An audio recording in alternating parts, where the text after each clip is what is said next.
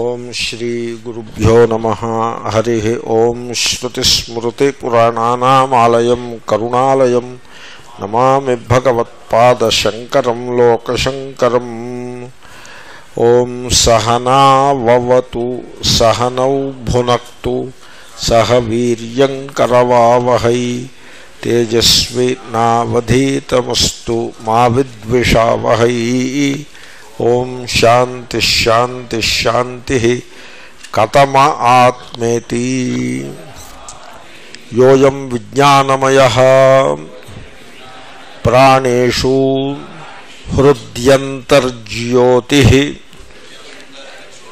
పురుష అదే పూర్వస్మిన్ వ్యాఖ్యానే కథమ ఆత్మ ఇది ఏతావదేవ ప్రశ్నవాక్యం అక్కడ దాకా వచ్చినట్టున్నాం కదా లేదా కాదు ఇంకా రాలేదంతవరకు ఓకే అత అహం పృచ్చామి కథమహ ఆత్మా అని ప్రశ్న అంతవరకు ప్రశ్న. కాబట్టి ప్రశ్న చిహ్నము కథమహ ఆత్మా పక్కన పెట్టుకోవాలి. మంత్రాల్లో ఆ చిహ్నాలు అవే ఉండవు. ఇతితోటి సమాసం చేసేసే ఉంటుంది. సారీ సంధి చేసేసి ఉంటుంది. కాబట్టి మంత్రంలో ప్రశ్న చిహ్నాన్ని చొప్పించటం కుదరదు అలాగా.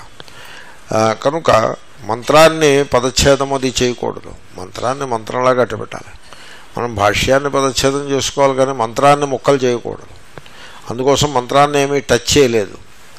సో ఆ వాక్యంలో కథమ ఆత్మా ఇది. సో కథమ ఆత్మ దగ్గర ప్రశ్న చిహ్నము. కనుక కథమ ఆత్మ.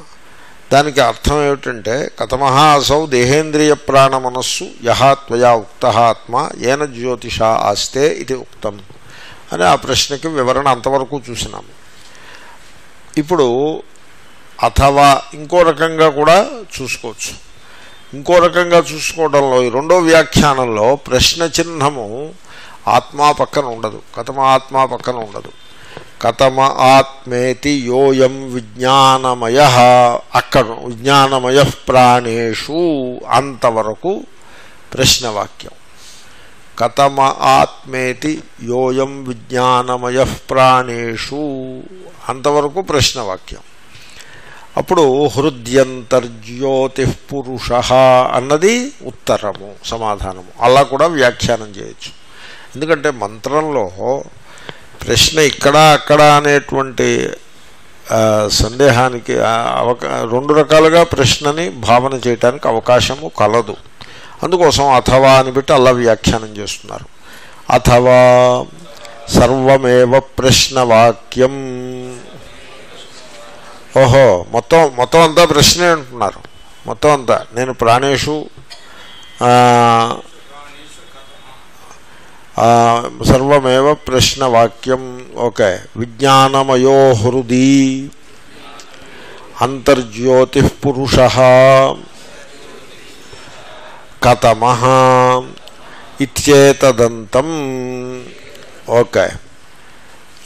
ఓహో ఇంకా దానికంటే ఇంకో ముందు ఇంకో మాట ఉన్నది. ద్వితీయేతు వ్యాఖ్యానే అది మిస్సింగ్ ఇక్కడ. అది అది కూడా ఉండాలి. దీంట్లో మిస్సింగ్ అయింది. మూడు ఓకే. అది మొత్తం మూడు రకాలుగా ఆ ప్రశ్న చిహ్నాన్ని పెట్టుకోవచ్చు. మీరు జాగ్రత్తగా ఫాలో అవ్వండి. కథమ ఆత్మ అక్కడ పక్కన ప్రశ్న పెట్టుకోవచ్చు. లేదా కథమ ఆత్మేతి యోయం విజ్ఞానమయ ప్రాణేషు అక్కడ ప్రశ్న పెట్టుకోవచ్చు. లేదా మొత్తం చిట్ట చిగురున మొత్తం వాక్యం అంతా ప్రశ్నవాక్యం కింద స్వీకరించవచ్చు. ఇప్పుడు అందాము. ద్వితీయేతు వ్యాఖ్యానే ప్రాణేషు ఇత్యేవమంతం ప్రశ్నవాక్యం. సో కథమాత్మా దగ్గర ప్రశ్న అని ఒక వ్యాఖ్యానం చెప్పి తూ దీనికి భిన్నంగా రెండవ వ్యాఖ్యానం చేయొచ్చు. ఎలాగా? ప్రాణేషు వరకు ప్రశ్న. అంటే రెండవ వాక్యంలో ప్రాణేషు వరకు ప్రశ్న. అప్పుడు హృద్యంతర్జ్యోతి పురుష అన్నది ఉత్తరం అవుతుంది దానికి సమాధానం ప్రశ్నకి సమాధానం అవుతుంది అది రెండో వ్యాఖ్యానం. ఇక అథవా. చూద్దాం ఏ వ్యాఖ్యానంలో ఏది ప్రశ్న ఏది సమాధానమో అన్నీ తర్వాత వస్తాయి. సర్వమేవ ప్రశ్నవాక్యం. మొత్తం అంతా ప్రశ్నే. ఎందుకంటే కథమహాతో మొదలైంది కనుక ఇంత మొక్క ఉంది కథమహాతో మొదలైంది. కథమహ అంటే అది ప్రశ్న. వాట్ అని. కాబట్టి ఆ ప్రశ్న ఎక్కడ దాకా వస్తుంది? ఆ మిగిలింది ఉత్తరం అవుతుంది కథమ ఆత్మ దాకా వచ్చిందనుకోండి మిగిలింది ఉత్తరము. కథమ ఆత్మ యోయం విజ్ఞానమయ ప్రాణేషు వరకు వచ్చిందనుకోండి మిగిలింది ఉత్తరము. లేదు హృద్యంతర్ జ్యోతి పురుష దాకా మొత్తం అంతా ప్రశ్నే అయిందనుకోండి అప్పుడు తరువాతి మంత్రము సమాధానం అవుతుంది ఆ విధంగా మూడు రకాలుగా దాన్ని చూడొచ్చు. కాబట్టి మొత్తం అంతా ప్రశ్నవాక్యమే అని మూడు రకాలుగాను మనం దాన్ని పరిశీలించవచ్చు. సో ఇప్పుడు ఇంకా దాని వ్యాఖ్యానం సంగతి చూద్దాము. యోయం విజ్ఞానమయ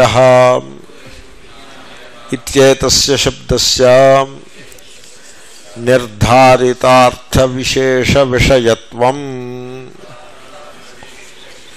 అదే ఇప్పుడు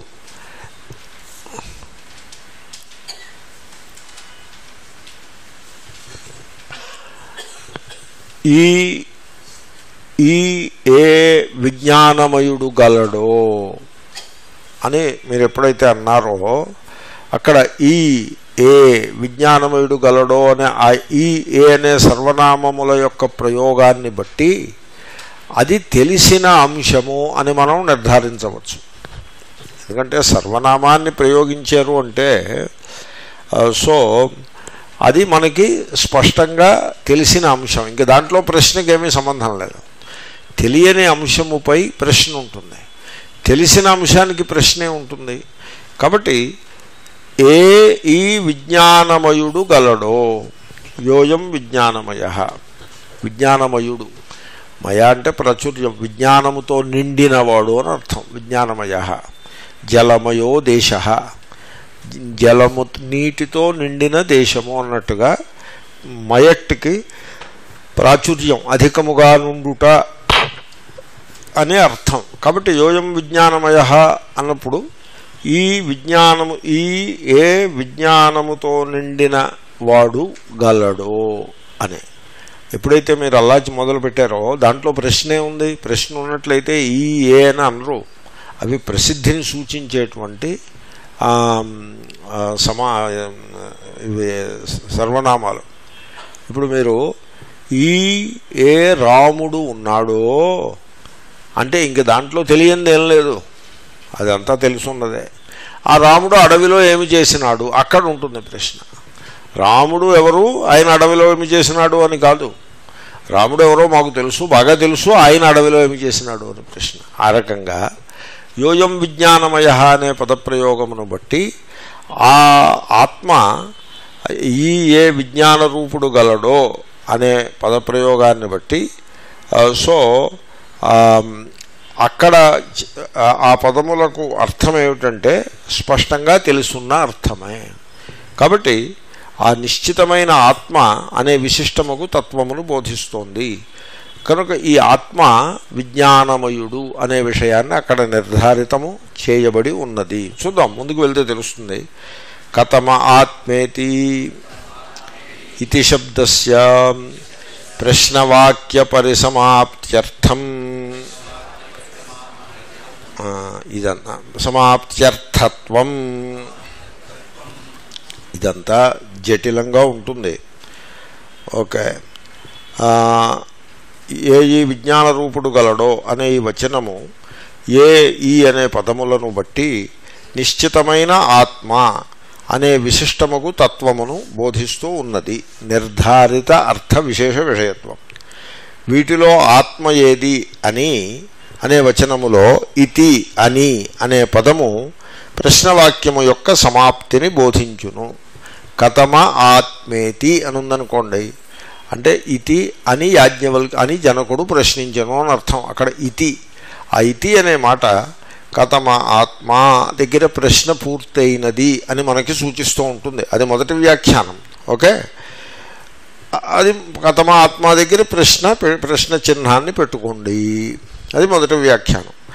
అలా కాకుండా విజ్ఞానం వ్యవహిత సో కథమ ఓకే. వ్యవహిత సంబంధం అంతరేణ యుక్తం ఇది కృత్వా. కథమ ఆత్మేతి ఇత్యేవమంతమేవ ప్రశ్నవాక్యం. ఓకే. ఈ వీటిలో ఆత్మ ఏది? ఓకే. విజ్ఞానమయ వరకు కానీ పురుష వరకు కానీ ప్రశ్నయే అన్నచో ఆ పదములకు వెనుక ఎక్కడనో ఉన్న ఇతి అనే పదమును కలిపి ప్రశ్న సమాప్తిని చెప్పాలి. ఇప్పుడు సపోజ్ కథమ ఆత్మ అక్కడ ప్రశ్న ఆఖరైంది అన్నారనుకోండి. ప్రశ్న ఆఖరైంది అనే విషయాన్ని ఏది సూచిస్తుంది? ఇతి అనే మాట సూచిస్తుంది. కాబట్టి స్పష్టంగా కథమ ఆత్మేతి అనగానే కథమ ఆత్మ అని జనకుడు ప్రశ్నించను. ఆ ఇతి అన్నది అలా సూచిస్తుంది. సపోజ్ అలా అలా చెప్తే సరిపడింది. అలా కాకుండా రెండో వ్యాఖ్యానంలో మీరు ఏమంటున్నారు విజ్ఞానమయ ప్రాణేషు దాకా ప్రశ్న అన్నారు. మరి ఇతి ఉండద్దా? విజ్ఞానమయ ప్రాణేషు ఇతి ఉండద్దు మరి? ఇతి ఉంటే కానీ అక్కడ ప్రశ్న అని ఎలా చెప్పగలరు? అప్పుడు ఏం చేయాలంటే మీరు ఆ ఇతిని మండు కప్పులుతి చేయాలి.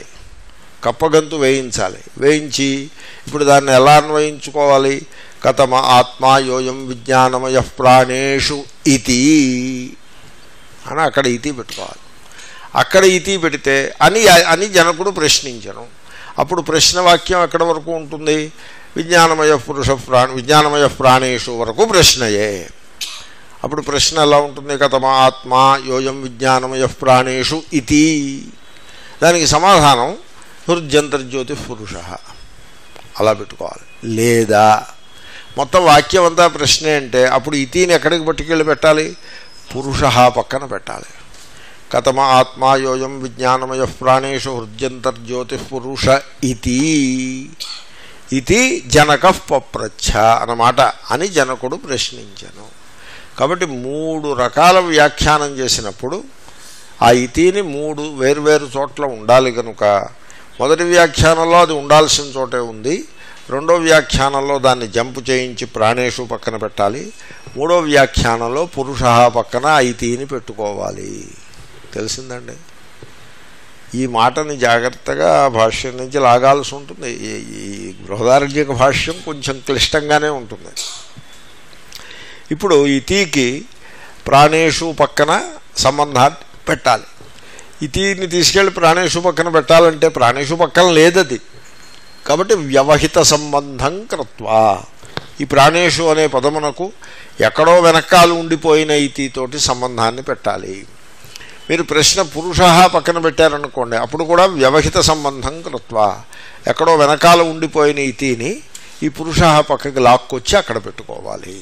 ఓకే? ఓకే. అక్కడికి ఆ పాయింట్ సెటిల్ అయింది.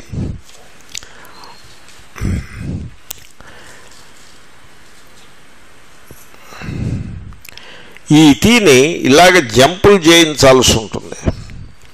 కాబట్టి ఇలా జంపులు చేయించి ప్రశ్న రెండో ప్రశ్న మూడో ప్రశ్న అదొక పద్ధతి. కానీ జంపులు ఏమీ చేయించక్కర్లేకుండా ఎక్కడుందో అక్కడే అట్టేపెట్టి అప్పుడు ప్రశ్న ఏమిటి తేలుతుంది? కథమ ఆత్మ అని ప్రశ్న తేలుతుంది. ఇలా జంపులు చేయించి ప్రశ్న అక్కడ దాకా ప్రశ్న అక్కడ దాకా ప్రశ్న అని చెప్పడం మేలా లేక ఎక్కడ ఉందో అక్కడే పెట్టుకుని అది ప్రశ్న అనుకోవడం మేలా ఎక్కడ ఉందో అక్కడే పెట్టుకుని అది ప్రశ్న అనుకోవడం మేలు. ఎందుకు ఈ పని ఇలా చేశారో తెలిసిన శంకరుల కాలం నాటికి ఓ వ్యాఖ్యానం ఉండేది. దానికి భర్తృప్రపంచ వ్యాఖ్యానము అని పేరు. బృహదారణ్యకోపనిషత్తు అంత పెద్ద ఉపనిషత్తు కూడా ఒక వ్యాఖ్యానం ఉండేది ఆనాటికే ఆ వ్యాఖ్యానాన్ని మనస్సులో పెట్టుకుని ఇటువంటి కల్పనలను ఇటువంటి వికల్పములనన్నిటినీ భాష్యకారులు చర్చిస్తున్నారని మీరు అర్థం చేసుకోవాల్సి ఉంటుంది. ఓకే?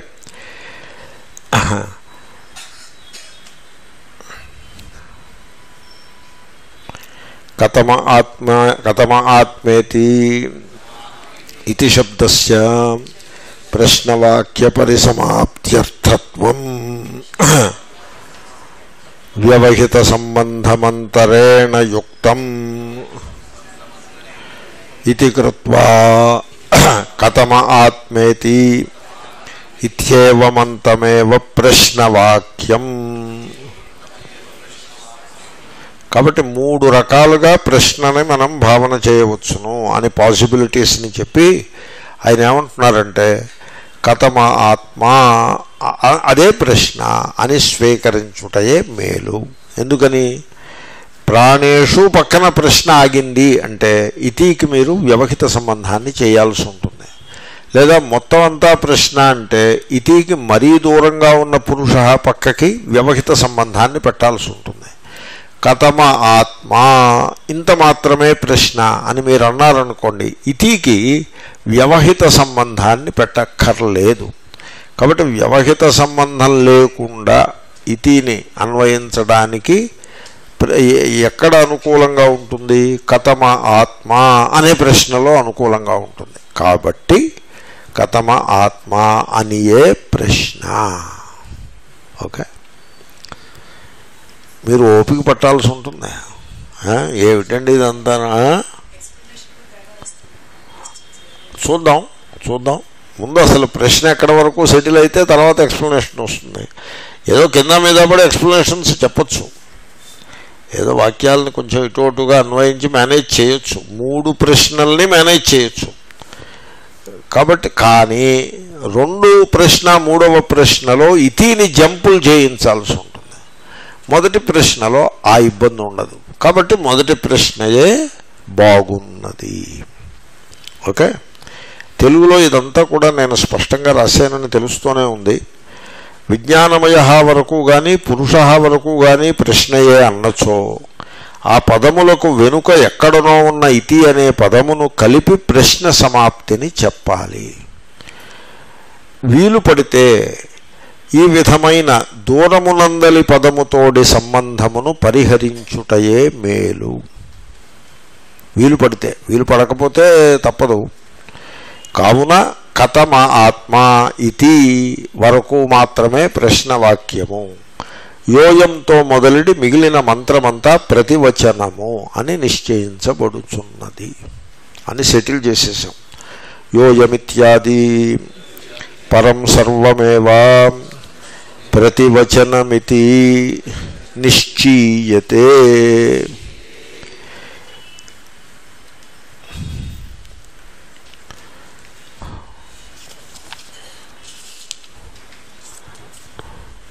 ఓకే ఇదంతా కూడా స్పష్టంగా తెలుస్తూనే ఉన్నది. మంచిది. బృహదారణ్యక భాష్య పాఠం ఎప్పుడూ ఇలాగే ఉంటుంది. దాన్ని చాలా కాషస్గా హ్యాండిల్ చేయాల్సి ఉంటుంది. ఓకే. యోయం విజ్ఞానమయ అది అయింది. యోయం ఇది ఆత్మన ప్రత్యక్షత్వాత్ నిర్దేశ. ఏ ఈ ఆత్మ గలదో ఎటువంటి ఆత్మ? విజ్ఞానమయమైన ఆత్మ. ఏ ఈ ఆత్మ గలదో ఇప్పుడు కథమా ఆత్మ అని ప్రశ్న. యోయం ఆత్మ విజ్ఞానమయ అని సమాధానం. ఏ ఈ ఆత్మ గలదో అని మీరు అన్నప్పుడు ఏ ఈ అనే పదములు ఖచ్చితంగా బాగా ప్రసిద్ధంగా తెలిసిన దానిని బోధిస్తాయి. కాబట్టి ఏ ఈ ఆత్మ అని మీరు అనగానే ఈ ఆత్మ అందరికీ బాగా తెలుసున్నది అయి ఉండాలి. లేకపోతే ఏ ఈ ఆత్మ గలదో అని అంటారా? సో ఇప్పుడు మీరు ఎవరినైనా ఉద్దేశించి మాట్లాడేప్పుడు చూడయ్యా రాముడు ఉన్నాడు కదా ఏ ఈ రాముడు గలడో అని మొదలుపెట్టారనుకోండి దాని అర్థం ఏంటి? రాముడు ఉన్నాడని మీకు ఆయనకి అందరికీ బాగా తెలుసున్న విషయము అని స్పష్టమవుతూ ఉంటుంది. ఆ సర్వనామాలకు అటువంటి అర్థము గలదు. కాబట్టి ఆత్మ అని చెప్పడంలో యహ అయం యోయం ఆత్మ అనే సర్వనామాలని ప్రయోగించినారు కనుక ఈ ఆత్మ సర్వప్రసిద్ధమైనది అనే విషయం స్పష్టమవుతోంది. అయితే ఆత్మ అంత ప్రసిద్ధిలో ఉందా? ఆత్మ ప్రసిద్ధిలో ఉందా? ఇది- ఒక పెద్ద ఇది ఒక పెద్ద విషమ ఘట్టం చాలా సూక్ష్మమైన విషయం. మీకు నేను దృష్టాంతం చెప్తా. రమణ మహర్షి దగ్గరికి వెళ్ళి ఏమంటే ఆత్మ ఏమిటో మాకు తెలియట్లేదు చెప్పండి అని అడిగారు. అంటే ఆయన అన్నారు నువ్వేరా ఆత్మ? ఆ ఆత్మ నువ్వు కాకపోతే ఆత్మ ఏమిటో తెలియట్లేదని ప్రశ్న వేయడమే సంభవం అయ్యేది కాదు. ఆ ప్రశ్న ఎవడు వేస్తున్నాడు? నువ్వే మరి నువ్వే ఆత్మ అని చెప్పేవారు ఆయన. కాబట్టి మనం ఎప్పటికీ ఏమనుకుంటామంటే మనకి ఆత్మ తెలియదు అనుకుంటూ ఉంటాం. ఆత్మ తెలియదు అనుకోవడమే అజ్ఞానం. ఆత్మ నిత్యానుభవ సిద్ధము అని తెలియుటయే జ్ఞానం. కాబట్టి ఆత్మ అంటే ఏమిటండి? నేను. నేను అనే అనుభవము లే లేనివాడు ఎవడైనా ఒకడు ఉన్నాడా? నేను అనే అనుభవం లేకుండా ఆత్మ ఏది అనే ప్రశ్న వేయడం సంభవమవుతుందా? కాబట్టి ఆత్మ మనందరికీ అనుభవములో ఉన్నది ఏ అక్కడ భాష్యకారులు ఏమన్నారు? ప్రత్యక్షత్వాత నిర్దేశ అంటారు. ఆత్మ ప్రత్యక్షము అంటారు.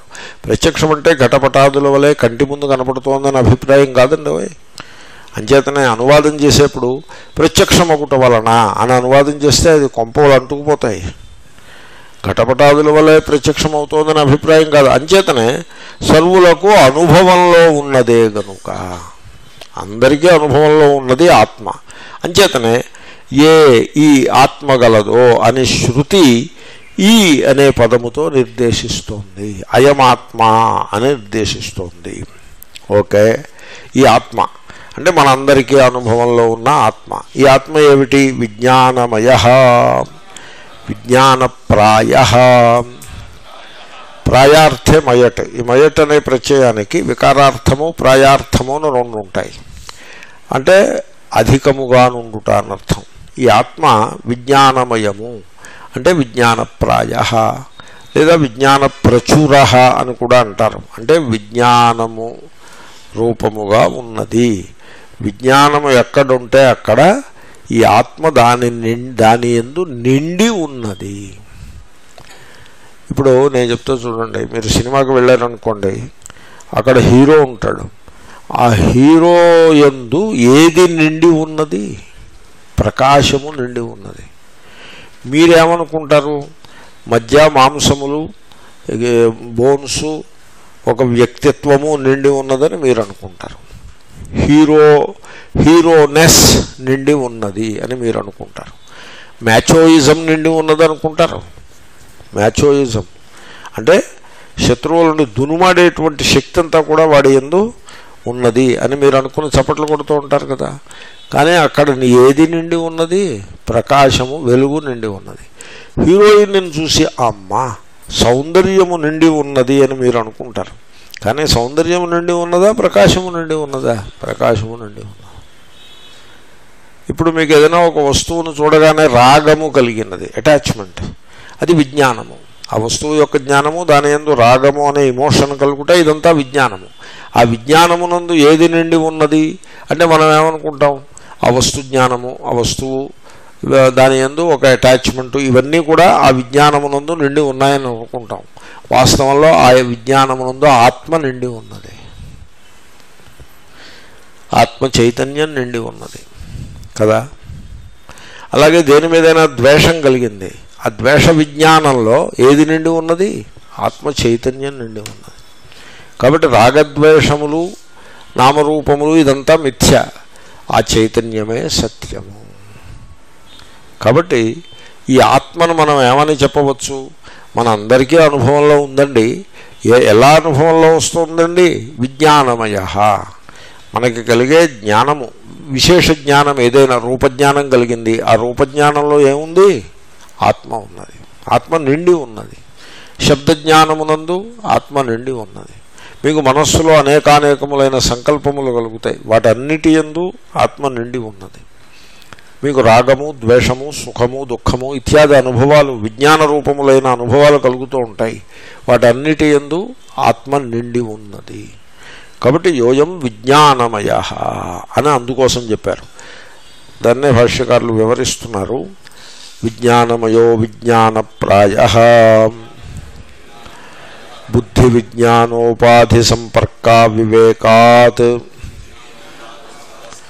విజ్ఞానమయ ఇది ఉచ్యతే. ఏమంటే ఇప్పుడు వెలుగు ఏది అని అడిగారు అనుకోండి సినిమాకి వెళ్ళినప్పుడు ఇది ఇలాగే ఉంటుంది ఈ చర్చ. మీరు చాలా ఓపిక పట్టాల్సి ఉంటుంది. వెలుగు ఏది అని అడిగారు అనుకోండి అడిగితే అదిగో అక్కడ నాయకుడు నాయిక ప్రతి నాయకుడు ఆ రూపముల ఎందు నిండి ఉన్నది వెలుగు అని సమాధానం చెప్పారనుకోండి. ఆ సమాధానము ఒక రిలేటివ్ సెన్స్లో కరెక్ట్ అయినా అబ్సల్యూట్ సెన్స్లో తప్పు కదా. అబ్సల్యూట్ సెన్స్లో వెలుగు ఆ మూడు నామరూపాల్లో నిండి ఉందని అలాగ అదే ఆ వెలుగంటే. ఆ మూడు నామరూపాలు లేవనుకోండి వెలుగు ఉంటుందా ఉండదా కాబట్టి వెలుగు స్వతంత్రంగా ఉంటుంది. కానీ ఆ సందర్భాన్ని బట్టి ఈ మూడు నామరూపముల యందు నిండి ఉన్నది అని చెప్పారు. సపోజ్ ఆ చెప్పిన వాడికి ఆ నామరూపముల కంటే విలక్షణంగా స్వతంత్రంగా వెలుగుంటుంది అనే వివేక జ్ఞానం లేదనుకోండి ఆ తేడా తెలియని వాడు అనుకోండి వాడు ఏమని చెప్తాడు అప్పుడు? ఆ మూడు నామరూపముల యందు నిండి ఉన్నదియే వెలుగు అని చెప్తాడు. కదా? ఈ విజ్ఞానమయ ఆత్మ అంటే అలాంటిదే. అలాంటి మాట అది. సో బుద్ధి విజ్ఞాన ఉపాధి సంపర్క వివేకాత్ విజ్ఞానమయ ఇది ఉచ్యతే సో విజ్ఞానమయ అనగా విజ్ఞాన ప్రచురము. బుద్ధి అనే విశేష జ్ఞానము రూపములోనున్న ఉపాధితోడి సంపర్కము వలన ఆ ఉపాధి కంటే విలక్షణముగా ఆత్మ తెలియబడుట లేదు గనుకనే ఆత్మ విజ్ఞానమయము అని నిర్దేశించబడుతోంది.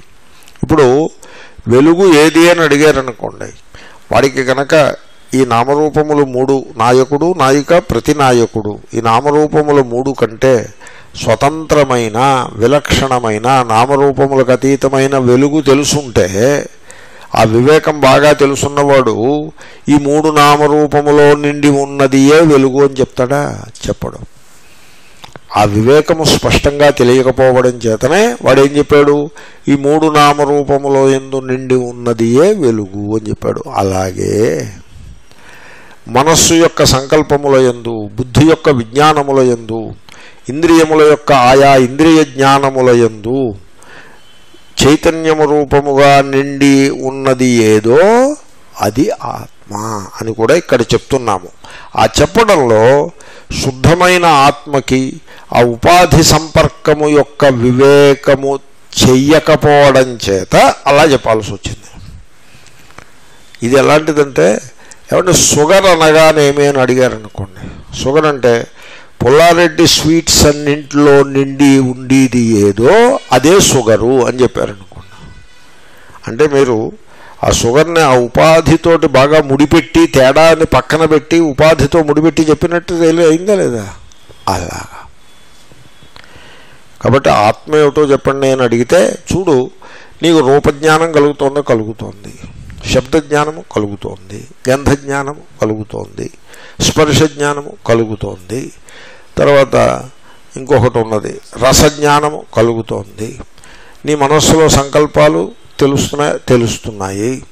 నీ బుద్ధి ఎందు పాండిత్యము యొక్క ప్రకాశము తెలుస్తుందా తెలుస్తోంది. మనసులో రాగము కలిగినప్పుడు రాగవాసన తెలుస్తో తెలుస్తోంది. ద్వేషవాసన తెలుస్తోంది.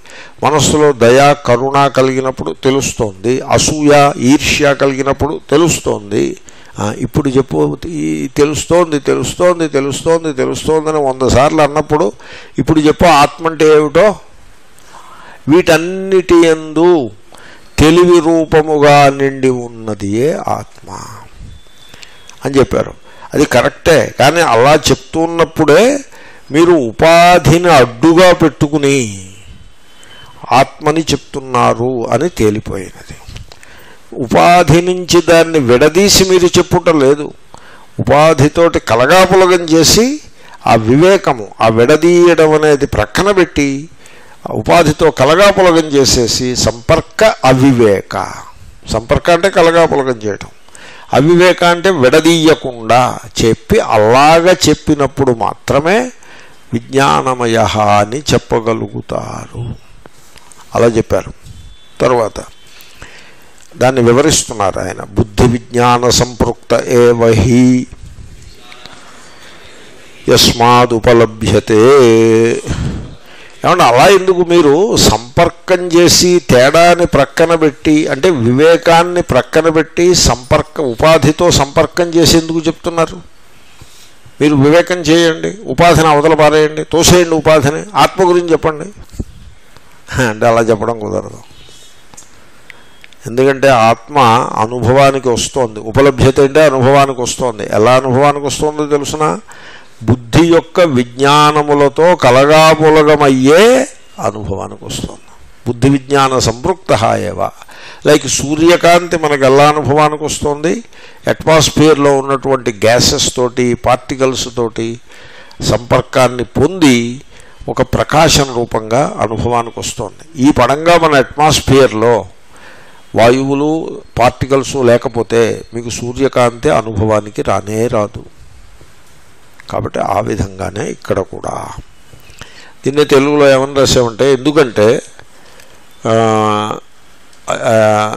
దానికి బుద్ధి రూపములో ఉన్న విజ్ఞానముతో కూడియే అలా కూడింది ఎందుకు కూడింది? అవివేకముచే కూడింది. కూడియే ఆత్మ విశేష జ్ఞానము రూపములో అనుభవానికి వస్తోంది. ఆత్మ అన్నది మీకు ఒక గంధ జ్ఞానము రూపంగానో రసజ్ఞానము రూపంగానో శబ్దజ్ఞానము రూపంగానో లేక ఒక రాగవాసన రూపంగానో ఒక సుఖవాసన సుఖానుభవం రూపంగానో ఏదో ఒక రూపంలో మాత్రమే మీకు అనుభవానికి వస్తుంది.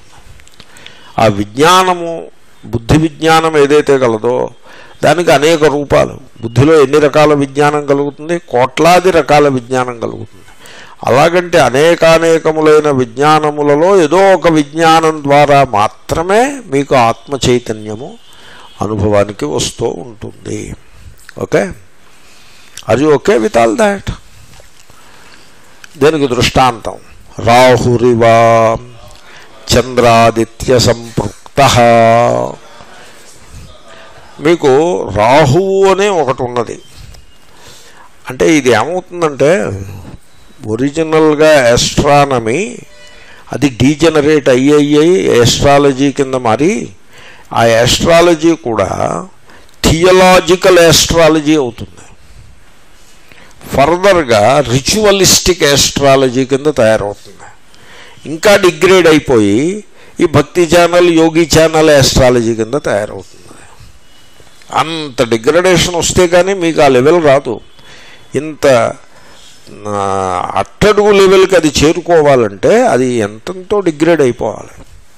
ఆకాశంబున నుండి శంభుని శిరం బంధుండి అంటూ ఎప్పుడైనా పద్యం హిమాద్రి అంటే పద్యం విన్నారు కదా ఆ గంగ పలు పెక్కుభంగులు వివేక భ్రష్ట సంపాతములు అని ఉంటుంది ఆఖరిని. వివేకం తొలగిపోయిన వాడు ఎంత డౌన్ పడిపోతాడంటే ఏం చెప్తాం? అలా పడిపోతూనే ఉంటాడు.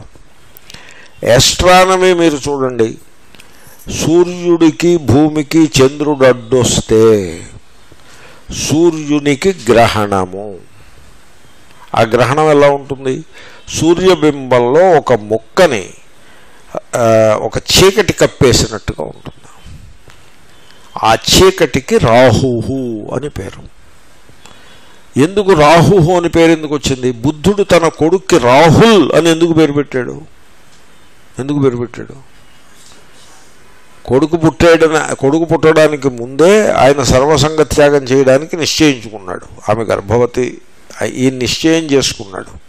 It's a matter of walking away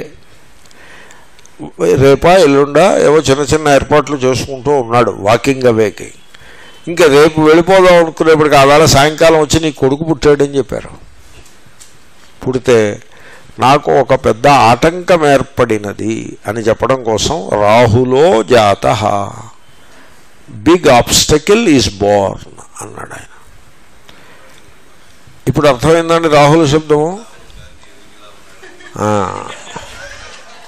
అంత మాటే. అలాగే అనుకోవాలి.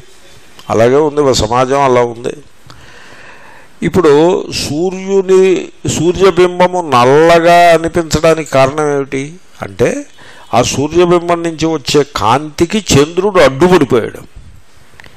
ఆ నీడ ఆ నీడకి రాహువు అని పేరు. ఎందుకంటే అడ్డుపడిపోతుంది కనుక.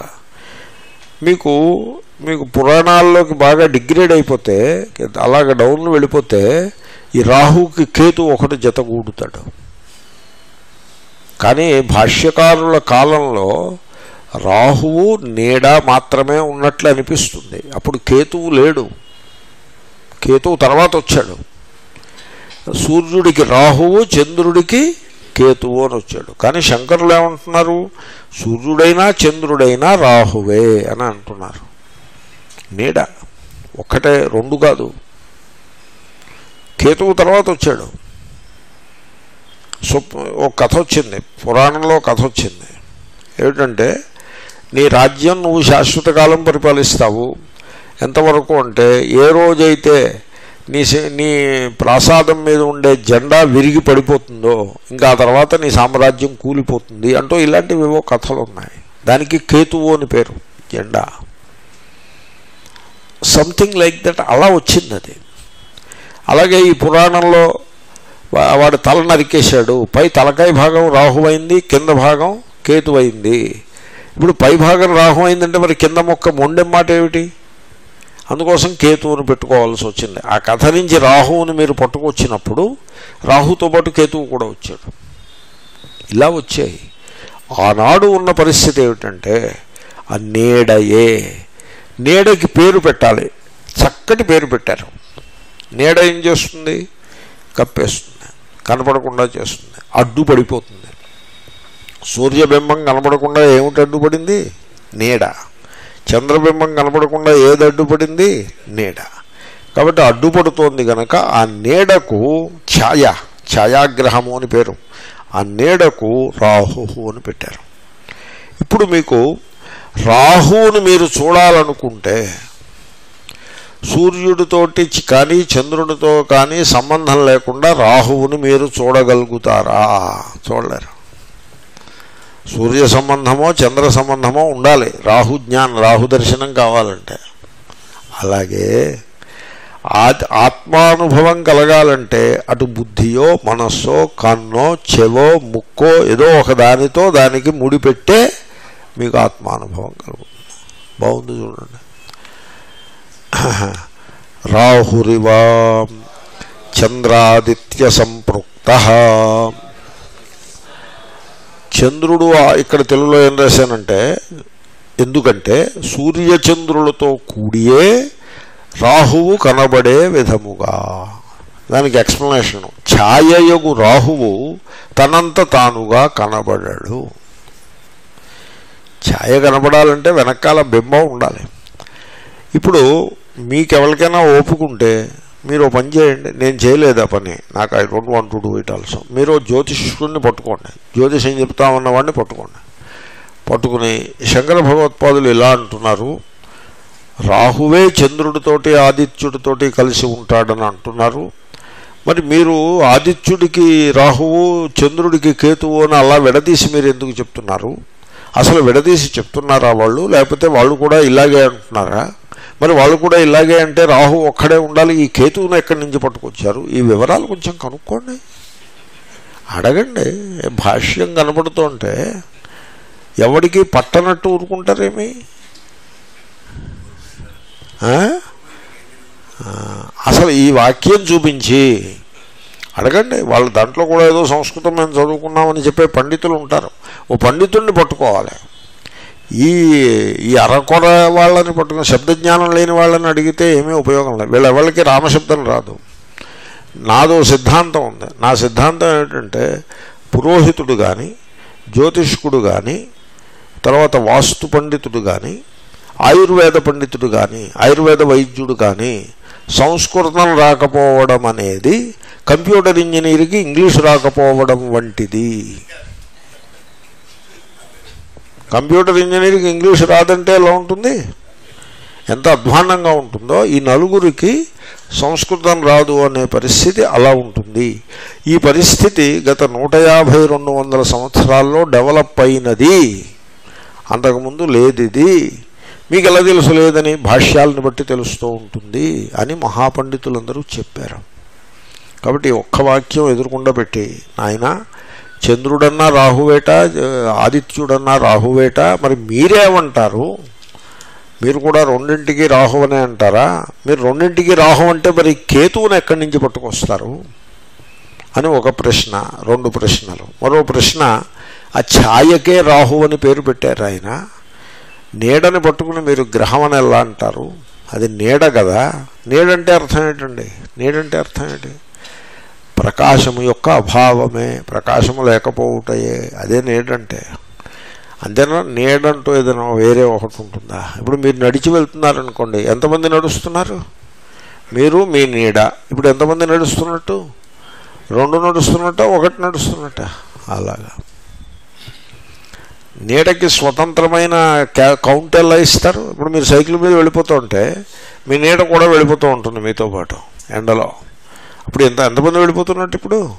ఒకడ కాబట్టి ఇటువంటి ప్రశ్నలు అడగాలి. ఊరికే వాళ్ళ దాన్ని వాళ్ళు అలాగా చెలిగేస్తుంటే మీరు అలా డూడు బసవన్నంటూ తలలు ఊపుతో కూర్చోవడం ఏ న్యాయం అది? Somebody has to ask the question పోలండి అదంతా డైగ్రెషను. ఆయన దృష్టాంతం ఎలా ఇచ్చారో చూడండి. ఆత్మ అనుభవానికి రావాలంటే దానికి ఒక ఉపాధి పడాలి. లేకపోతే అనుభవానికి రాదు. ఎలా అయితే రాహు అనుభవానికి రావాలంటే సూర్యుడో చంద్రుడో ఉపాధి కావాలి. అక్కడ ఉపాధి అంటే బింబము ఉపాధి మంచిది. ఇంకా బుద్ధి సర్వార్థకరణం తమసి ఇవ ప్రదీప పురః అవస్థిత. చూడండి ఇప్పుడు బుద్ధి అనేది ఉంది చూసారా? అది అన్ని జ్ఞానములకు అది ఏ సాధనము? కరణం అంటే ఉపకరణము. అదే టూల్ ఇన్స్ట్రుమెంట్ అన్ని రకముల వి- అన్ని విషయాలకి బుద్ధియే ఉపకరణము. బుద్ధి సర్వార్థకరణం. మనం అర్థం చేసుకోము. మనం ఏమనుకుంటామంటే ఇతరములు ఉపకరణం అనుకుంటాం. మీకు లడ్డూ తిన్నారనుకోండి లడ్డూ తింటే మీకు ఆనందం కలిగింది సుఖానుభవం కలిగింది. ఈ సుఖానుభవము దేని వల్ల కలిగింది? బుద్ధి వల్ల కలిగింది. ఎందుకంటే మీకు సుఖానుభవము అనే మాట అర్థం ఏమిటో తెలుసిన? సుఖజ్ఞానమే సుఖోపలబ్ధి. సుఖము ఉపలబ్ధమవుటయే సుఖము యొక్క అనుభవం ఉపలబ్ధి. ఆ సుఖం తెలుస్తూ ఉంటుంది. అది ఎలా తెలిసింది? బుద్ధి ఉంటేనే తెలుస్తుంది. బుద్ధి లేదనుకోండి నాలుక వల్ల తెలియదు. ఆ నాలుక ద్వారా బుద్ధి ద్వారా తెలుస్తుంది. కాబట్టి రుచి చూసేది ఏది? బుద్ధి. శబ్దాన్ని వినేది? బుద్ధి. చూసే రూపాన్ని చూసేది? బుద్ధి. మరి బుద్ధి ఇన్ని పనులు చేస్తోంది కదా అన్నీ తనే చేసేస్తోంది అంటే చూడండి కొన్ని పనులను కొన్ని ద్వారా చేస్తోంది కొన్ని ఇంద్రియముల ద్వారా చేస్తోంది. రూపమును తెలియుట అనే పనిని కన్ను ద్వారా చేస్తోంది. బుద్ధి. కాబట్టి బుద్ధి is the main instrument so ఇప్పుడు మెయిన్ పిస్టన్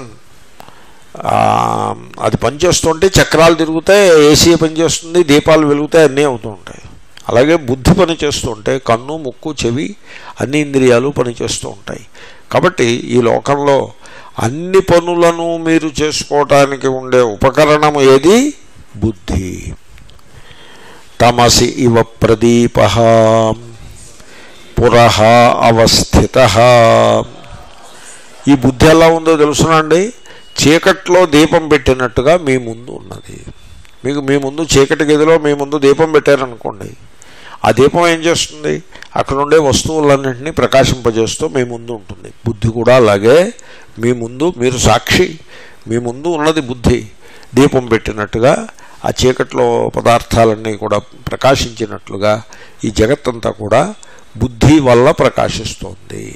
అయితే ఆ బుద్ధికి వెలుగు ఎక్కడి నుంచి వద్దంటే ఆత్మ నుంచి వస్తుంది. వీ విల్ సే దాట్ విజ్ఞానమయ అంటున్నారు కదా. అంచేతనే మనసాహ్యేవ పశ్యతి మనసా శృణోతి ఇది ఉక్తం. ఏమంటే ఈ లోకంలో అన్ని పనులను బుద్ధి బుద్ధి అంటే మనస్సేనే ఉన్నాయి మళ్ళీ అది వేరు ఇది వేరు అనుకున్నారు. ఇది అది ఒకటే ఈ సందర్భంలో. బుద్ధి ద్వారానే అన్ని పనులు అవుతాయంటున్నారు. అది ఎలాగండి అంటే చూడండి. మనిషి చూస్తున్నాడంటే బుద్ధి ద్వారానే చూస్తున్నాడు బుద్ధితోటే చూస్తున్నాడు. మనసా హ్యేవ పశ్యతి. వింటున్నప్పుడు కూడా మనసా శృణోతి అని కని అని కదా మనకి ఇంతకుముందు చెప్పి ఉన్నారు. బుద్ధి విజ్ఞానో విజ్ఞానాలోక విశిష్టమే వహి.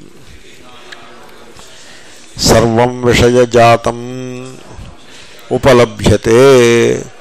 విషయములన్నీ తెలియబడుచున్నవి. అన్ని విషయములు తెలియబడుతున్నాయి విషయములు అంటే ఏమిటండి?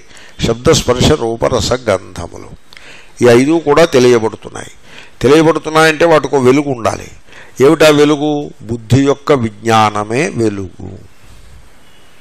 ఇప్పుడు ఇలా చూస్తున్నారనుకోండి ఎదురుకుండా ప- గు- పరమహంస గురుదేవుల ఫోటోగ్రాఫ్ ఉంది. ఇలా చూస్తున్నా.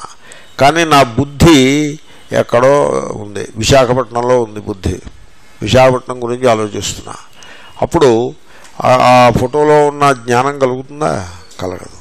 ఎందుకని? బుద్ధి ఉండాలి.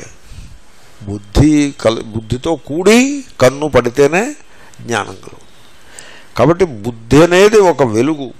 ఏం వెలుగు? విజ్ఞానం అనే వెలుగు. తెలియుట అనే వెలుగు. బుద్ధి యొక్క తెలియుట అనే వెలుగు. ఆలోకము అంటే వెలుగు. ఆ వెలుగుతో కూడినప్పుడు మాత్రమే కన్ను చూస్తోంది రూపజ్ఞానం కలుగుతోంది చెవి ద్వారా శబ్ద జ్ఞానం కలుగుతోంది. కాబట్టి ఐదు విషయముల యొక్క జ్ఞానం మీకు కలుగుతోంది అంటే బుద్ధి యొక్క విజ్ఞానం అనే వెలుగు ఉండబట్టే కలుగుతోంది. అంటే మీరు అనొచ్చు ఐదు విషయములు సరేనండి మరి ప్రపంచం మాట ఏమిటని? ఓర్ని ప్రపంచం కూడా ఈ ఐదింటి కంటే ప్రపంచం అంటూ వేరే ఏదీ లేదు. ఇంకా మళ్ళీ ప్రపంచం ఒకటా? ఈ ఐదు మాట ఏమిటి? ఇది వేదాంత క్లాస్ ఇది. ఏదో వాస్తు లేకపోతే జ్యోతిషం అనుకున్నారు. ఇంకా ప్రపంచం ఏం లేదండి. అదే ప్రపంచం. కాదండి మాకు శబ్దము రూపము రసము గంధము స్పర్శ ఉన్నాయి ప్రపంచం ఉన్నది. ఇంకా వేరే ప్రపంచం ఏం లేదు. రమణ మహర్షి ఏమన్నారో తెలిసిన? The conception of the world is the world.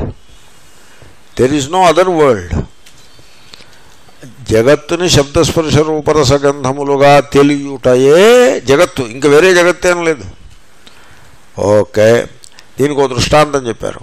పురోవస్థిత ప్రదీపాలోక విశిష్టమివ తమసి. తమసి ఇప్పుడు చీకట్లో కూర్చున్నారండి. అక్కడ ఉన్న రూపములు ఏవి కూడా తెలియట్లేదండి. ఇప్పుడు సడన్గా తీసుకొచ్చి ఓ దీపం పెట్టారండి. పురహ అవస్థిత. మీ ముందు దీపం పెట్టారు. ఆ దీపము వెలుగులో అవన్నీ కూడా మీకు తెలుస్తూ ఉన్నాయి. అలాగే ఈ బుద్ధి అనే దీపము యొక్క వెలుగులో బుద్ధి యొక్క విజ్ఞానము యొక్క వెలుగులో కాబట్టి దీపం వంటిది బుద్ధి విజ్ఞానం దాని వెలుగులో శబ్ద స్పర్శ గంధములనే విషయములు అనగా మొత్తం జగత్తంతా కూడా తెలుస్తూ ఉన్నది. మరి ఏమన్నా అంతా బుద్ధి అయితే మరి కన్ను ముక్కు చెవి వీటి మాట ఏమిటండి? చాలా వివరంగా ఇచ్చారు ఇక్కడ భాష్యకారులు.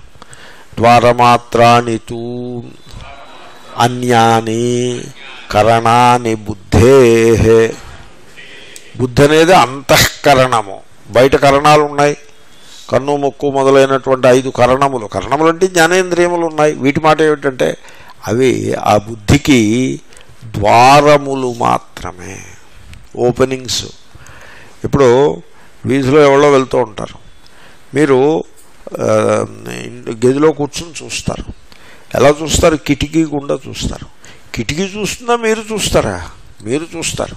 మరి కిటికీ కూడా ఉండ ఓర్ని కిటికీ కూడా కిటికీ ద్వారా మీరు చూస్తారు. కిటికీ చూడదండి.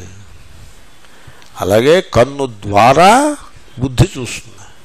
చెవి ద్వారా బుద్ధి వింటుంది. ముక్కు ద్వారా బుద్ధి ఆఘ్రాణిస్తుంది. నాలుక ద్వారా బుద్ధి ఆస్వాదిస్తుంది. చర్మము ద్వారా బుద్ధి స్పర్శ స్పృశిస్తుంది. కాబట్టి బుద్ధే సర్వము బుద్ధియే. మరి మనస్సు అదేనండి మనస్సే అవ్వ పేరే ముసలమ్మ. మనస్సు బుద్ధి అంతా కలిపి చెప్తున్నాం కదా ఇక్కడ. తస్మాత్ తేన ఏవ విశేష్యతే. విజ్ఞానమయ ఇది ఇంత కథ ఉంది కాబట్టి ఈ ఆత్మని గురించి చెప్పవయా అంటే ఆ బుద్ధిని ఆత్మకి విశేషముగా జోడించి అంటే బుద్ధి యొక్క ఉపాధితో ఆత్మని ముడిపెట్టి యోయం ఆత్మ విజ్ఞానమయ అని చెప్పడమైనది. రాహువుని చూపించవయ్యా అంటే ఆగు చూపిస్తా ఫలానా తారీఖు నాడు గ్రహణము గలదు రాహువును చూపించు అంటే అప్పుడు వీడు వెయిట్ చేయాలి. కాదు నాకు ఇప్పుడే చూపించండి. ఇప్పుడు చూపించడం కుదరదు. ఆ గ్రహణం పట్టినప్పుడు చూపించడం కుదురుతుంది. అలాగే ఆత్మని చూపించు అంటే బుద్ధిని పట్టుకో. బుద్ధి ద్వారానే మీరు ఆత్మని చూపించటం అనేది సంభవమగును. మంచిది. ఏషాం పరమాత్మ విజ్ఞప్తి వికార ఇది వ్యాఖ్యానం అది తేషాం విజ్ఞానమయ మనోమయ ఇత్యాదౌ విజ్ఞానమయ శబ్దస్య అన్యార్థదర్శనాత్ అశ్రౌతార్థత అవసీయతే. ఇప్పుడు మీకు తెలిసిందా బృహదారణ్యకం పాఠాలు ఎవరు చెప్పడము చదవడం ఇలాంటివి ఎందుకు ఉండవో అర్థమైంది కదా? అదే సంగతి. ఇది బృహదారణ్యకం ఇది ఇది గుగ్ ఇనప గుగ్గిళ్ళు భోజనం చేస్తున్నట్టు ఉంటుంది. ఇనప గుగ్గిళ్ళు మామూలు ఈ అనుములు ఇవి ఉంటే దాన్ని గుగ్గిళ్ళు చేసి తింటే ఏదో కింద మీద పడి సాగతీసి తినొచ్చు. ఇనుము ముక్కలు ఏం తింటారు? ఎనీవే సో తెలుగులో ఇవన్నీ ఈ కష్టాలన్నీ పడి పడి తెలుగులో దీన్ని ఎదుర్కొన్నా పెట్టుకోవడం అయింది. మళ్ళీ ఇంకోసారి పడి ఓపిక లేక ఆ తెలుగుది ఎదుర్కొన్నా పెట్టుకుని నేను కొంచెం సోమరిధానం వల్ల అలాంటి పని చేస్తున్నా. లేకపోతే నాది ఒరిజినల్ బృహదారణ్య పుస్తకం ఆనంద ఆనందగిరి టీకా విష్ణుదేవానందగిరి టిప్పణి ఇవన్నీ పెట్టుకుని దాంతో సాగతీసి ఏదో చేశాము. ఇంక ఇప్పుడు తేలికైపోయింది. భర్తృ ప్రపంచాచార్యుని ఒక ఆయన ఉన్నారు. ఆయన విజ్ఞానమయ ఆత్మ అని ఉంది కదా ఇక్కడ. యోయం ఆత్మా విజ్ఞానమయ. సో దానికి ఆయన ఏమని సమా ఆయన అర్థం మరోలా రాశారు. భర్తృ ప్రపంచాచార్యులకి బుద్ధిలో ఉన్నది ఇప్పుడే బుద్ధిలో వెలుగు ఉన్నది. బుద్ధిలో ఉన్న వెలుగు అది ఏ ఆత్మ అదే పరమాత్మ. అంటే ఇప్పుడు ఏమైపోయింది? బుద్ధిలో వెలుగు ఉన్నదనే మాట ఖాయం. దాన్ని మీరు పరమాత్మ చేసి పెడితే మరి జీవాత్మ మాట ఏమిటి? ఏడి జీవాత్మ ఎక్కడుంది? బుద్ధిని జీవాత్మ అనరు. బుద్ధి క్షేత్రం జడం అది. బుద్ధి ఇంద్రియములు దేహము అవన్నీ కూడా భౌతికములు జడములు కాబట్టి వాటిని పట్టుకుని జీవాత్మ అనరు. అది క్షేత్రం. జీవుడు చైతన్యాంశంతో కూడి ఉండాలి జీవుడు. ఆ చైతన్యం పరమాత్మని మీరేమో ముద్ర వేసి పెట్టారు.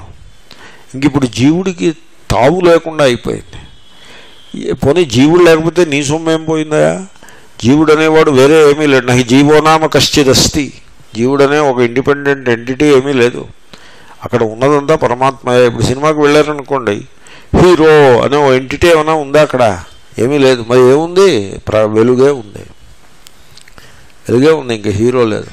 మరి హీరోయిన్ అది లేదు విలన్ అది లేదు ఈ ఎంటిటీస్ ఏం లేవు. ఉన్నది ఒక వెలుగే. అలాగే పరమాత్మ ఒక్కటే గలదు. వీడో జీవుడు వాడో జీవుడు ఇన్ని రకాలు ఏమీ లేవు. అని జీవుణ్ణి అసలే లేకుండా కొట్టిపారేసినట్టుంది వ్యాఖ్యానం. ఇది ఆ భర్తృ ప్రపంచాచార్యులకు అది నచ్చుబాటు అవ్వదు. ఎందుకంటే ఆయన ద్వైతాద్వైతి. అద్వైతము కావాలి ద్వైతము కావాలి. ఈ ఈ రకమైన డైకాటమీ అంటారు. ద్వైధీభావము. డైకాటమీ అంటే ద్వైధీభావము. అంటే ఓ కాలు ఇటు ఓ కాలు ఇటు ఇటు కాకుండా అటు కాకుండా. గోడ మీద పిల్లి వాటంగా కొంత అద్వైతం కొంత ద్వైతం. ఈ ద్వైతీభావం వాళ్ళకి వాళ్ళు దాంట్లో పడ్డారు వెళ్ళి. శంకరుల కాలం వరకు అలాగే నడిచింది. కారణం ఏమిటంటే కర్మ ఉంటుంది అక్కడ. మీరు లోకంలో చూడండి కర్మ చేస్తూ ఉంటారు. అలాగే ఉపాసన ఉంటుంది. ఉపాసనలు చేసేవాళ్ళు ఉపాసన చేస్తూ ఉంటారు. ఇప్పుడు ఈ కర్మకి ఉపాసనకి ఎంతో కొంత ద్వైతం లేకుండా ఎలా నిలబెట్టడం వాటిని? చాలా కష్టం అయిపోతుంది ద్వైతాన్ని పట్టుకోకుండా మీరు ఈ కామ్యకర్మలని కామ్యోపాసనల్ని ఎలా నిలబెడతారు? వేదం పుస్తకం తీసి తెరిస్తే అంతా అదే. ఎక్కడో మూల ఉంది. ఓ మూల పడుంది. జ్ఞానం అద్వైతం. మేము ఒక డిగ్రీ చదివే రోజుల్లో ఫిజిక్స్లో లాస్ట్ చాప్టర్ వదిలేసి వాళ్ళం ఎందుకంటే లాస్ట్ చాప్టర్ పరీక్షలు ఏప్రిల్లో మార్చిలో చెప్పేవారు లాస్ట్ చాప్టర్. అప్పటికే క్వశ్చన్ ఛాయిస్ ఉంటుంది. అప్పటికి ఇంకా ఇప్పుడు కొత్తగా ఈ లాస్ట్ చాప్టర్ని స్వాధీనం చేసుకునే టైం లేదు. సెలవులు ఇచ్చిన తర్వాత ఎక్స్ట్రా క్లాసులు పెట్టి చెప్పేవారు లాస్ట్. అటెండ్ అయ్యే వాళ్ళము కానీ ఛాయిస్లో వదిలేసి వాళ్ళం ఈ వేదాంతాన్ని అలా లాస్ట్ చాప్టర్ ఇది. దాన్ని పక్కన పెట్టాల్సి ఉంటుంది. కాబట్టి భర్తృ ప్రపంచాచార్యులకి సమస్య అలాంటి సమస్య వచ్చింది ఆయనకి. ఇటు ద్వైతము కాదు అటు అద్వైతము కాదు అన్నట్టుగా ద్వైతాద్వైతము అని పెట్టుకున్నారు ఆయన. పెట్టుకుని ఉపనిషత్తుల దగ్గరకు వచ్చేసి స ఆత్మ తద్బ్రహ్మ అంటుంటే అద్వైతం అంటారు. అంతవరకు ద్వైతము. అదే ఆయన సమస్య. ఇప్పుడు ఆయనకి పెద్ద ఇష్యూ కింద తయారవుతుంది విజ్ఞానమయ అన్నప్పుడు ఇష్యూ కింద తయారవుతుంది. ఎందుకని? జీవుణ్ణి కూడా నిలబెట్టాలి. పరమాత్మ జీవాత్మ. రెండు ఆత్మలు కావాలి ఆయనకి ద్వైత సందర్భంలో. మీరు రెండో ఆత్మని సుతరాము కా- తోసిపుచ్చేస్తే ఆయనకి ఇబ్బంది అవుతుంది. అందుకోసం ఆయన తెలివైన పని చేశారు. ఇలాంటి తెలివితేటలే ఉంటాయి. ఏమిటంటే ఆ తెలివి విజ్ఞానమయ అని ఉంది కదా ఈ జీవుడు ఉన్నాడే వీడు ఆ పరమాత్మ అనే వెలుగు యొక్క వికారము అని చెప్పారు.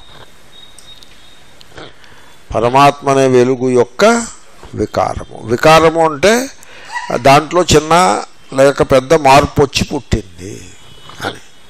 వికారము. వికారము అంటే ఎంతో కొంత మార్పు వచ్చి పుట్టిన దానిని వికారము అంటారు. ఇప్పుడు కుండ మట్టి యొక్క వికారము. మృణ్మయో ఘట అని ఉంది మట్టి వికారమైన కుండ. అన్నట్టుగా ఆ పరమాత్మ యొక్క వికారము ఈ జీవుడు అంటే ఇప్పుడు ఏమైంది పరమాత్మ ఉన్నాడు జీవుడు ఉన్నాడు. పరమాత్మ గొప్పవాడు జీవుడు వికారము కనుక తక్కువవాడు. అంటూ మొత్తానికి ఒక స్ట్రక్చర్ వచ్చింది. దీని మీద కర్మని ఉపాసనని నిలబెట్టుకోవచ్చు. మరి అద్వైతం అద్వైతం దగ్గర వచ్చేప్పటికి ఇది మూసేసి పరమాత్మ అని ఒక్కటే. అది చదువు. అది అలాగేదో పాపం.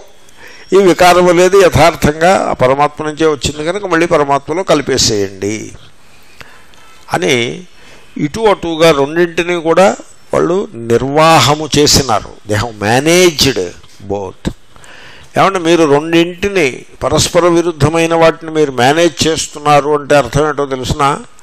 మీరు కొంచెం మసిపూసి మారేడుకాయ చేసి తిమ్మిని బెమ్మి బెమ్మిని తిమ్మి చేస్తున్నారని అర్థము.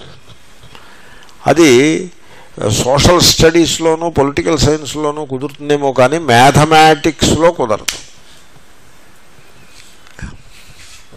మ్యాథమెటిక్స్లో ఏ ఈజ్ బిఏ అంటే A is equal to B A మళ్ళీ. A can be less than B also occasionally sometimes A can be greater than B also but now A equal to B అలా ఉండదు మ్యాథమెటిక్స్లో. A equal to B or A is not equal to B అంతే.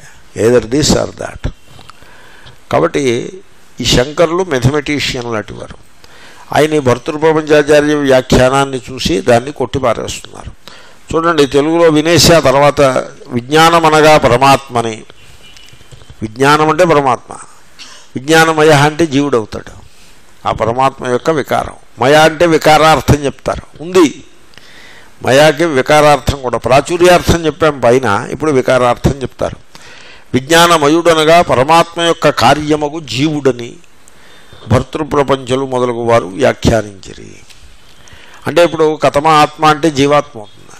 పరమాత్మ విజ్ఞానమయ మనోమయ అనే పదములకు వారే ఇంకో చోట మయట్ ప్రత్యయమునకు ప్రాయార్థము అంటే ప్రాచుర్యార్థాన్ని చెప్పారు. ఇందాక మనం చెప్పాం.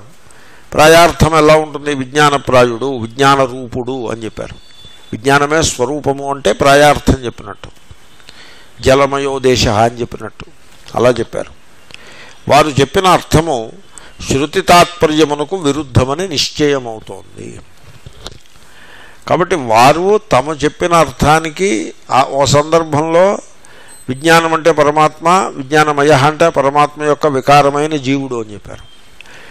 అలా ద్వైతాన్ని పెట్టారు. ఇంకో చోట విజ్ఞానమే పరమాత్మ విజ్ఞానమయ అంటే ఆ పరమాత్మయే నిండుగా బుద్ధి ఎందు ఉన్నది. అప్పుడు ఇంక జీవుడనేవాడు వేరే పెట్టుకోలేదు. కాబట్టి వారే విజ్ఞానమయ శబ్దానికి అక్కడో రకంగా ఇక్కడో రకంగా చెప్పి పరస్పర విరుద్ధంగా చెప్పారు. పోనీ రెండు పెట్టుకోవచ్చు. రెండు పెట్టుకుంటే అది శృతికి విరుద్ధం. పోనీ ద్వైతమే పెట్టుకున్నాం అది మరీ విరుద్ధం. కాబట్టి వారు పొరపాటుగా చెప్పినారు.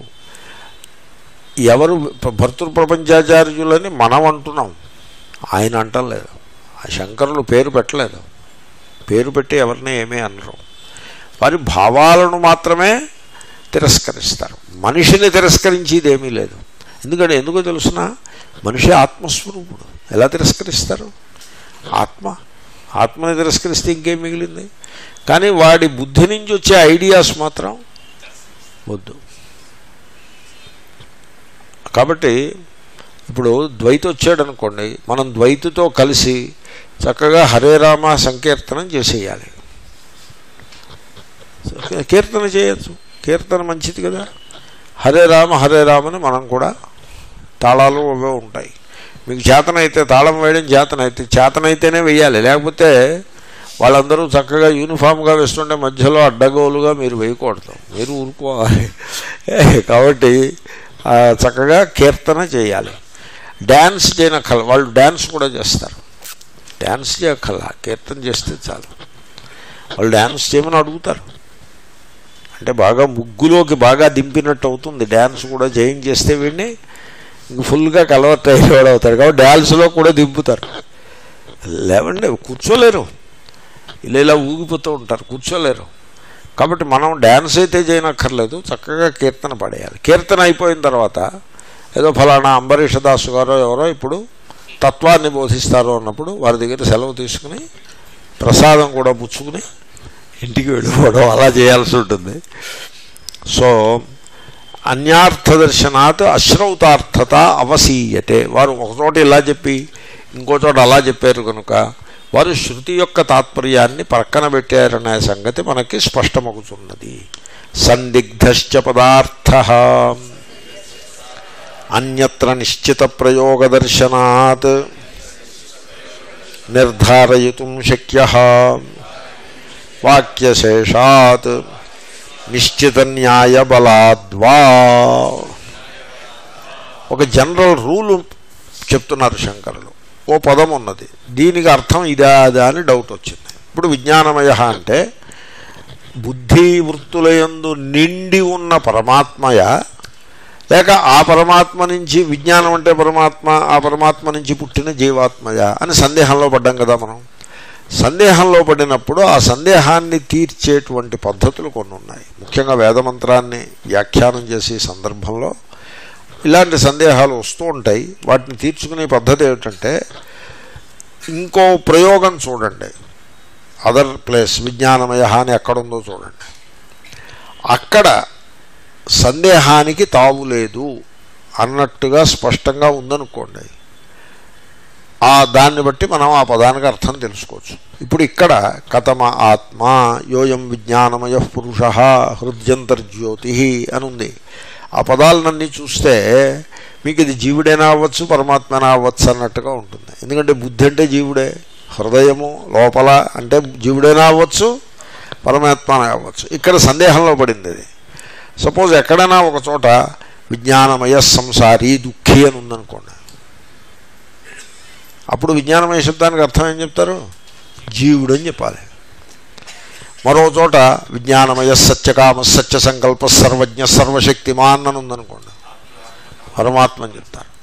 కాబట్టి సందేహం ఉందనుకోండి.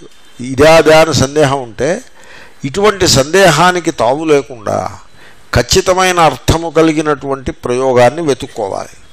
వెతుక్కుని ఏమంటే చూడండి అక్కడ? అక్కడ ఇదే పదం ఉన్నది. దానికి స్పష్టంగా పరమాత్మనే అర్థం కనబడుతోంది. కాబట్టి ఇక్కడ కూడా పరమాత్మే అవ్వాలి. లేదా అక్కడ స్పష్టంగా జీవాత్మని తెలుస్తూనే ఉందండి. కాబట్టి ఇక్కడ కూడా జీవాత్మే అవ్వాలి. అదొక పద్ధతి. సందేహాన్ని సెటిల్ చేసే పద్ధతి అదొకటి. లేదా ఇంకో పద్ధతి ఉంది. ఎలాగంటే వాక్యశేషాత్. ఇప్పుడు యోయం విజ్ఞానమయ విజ్ఞానమయ అన్నారు. ఈ ఏ విజ్ఞానమయుడు గలడో? అంటే ఎవడండి బాబు ఈ విజ్ఞానమయుడు? ఇప్పుడు పరమాత్మయేనా లేకపోతే జీవాత్మయా? అని సందేహం కలిగిందనుకోండి. కంగారు పడకండి ఓపిక పట్టండి కొంచెం ముందుకు వెళ్ళండి వెళ్ళండి వెళ్ళండి. తెలిసిపోయిందిలేండి అని మీకే తెలిసిపోతుంది. ఇది జీవుడు గోలేనండి బాబు ఇదంతాను. అనో అది పరమాత్మ అండి ఇది. అనో మీకే తెలుస్తుందండి. కాబట్టి దాన్ని ఏమంటారు? వాక్యశేషము అంటారు. అదో పద్ధతి. లేదా నిశ్చిత న్యాయబలాద్వా. మీరు అక్కడ ఉన్న వివరణని బట్టి యుక్తియుక్తంగా ఏ అర్థము ఉంటుంది?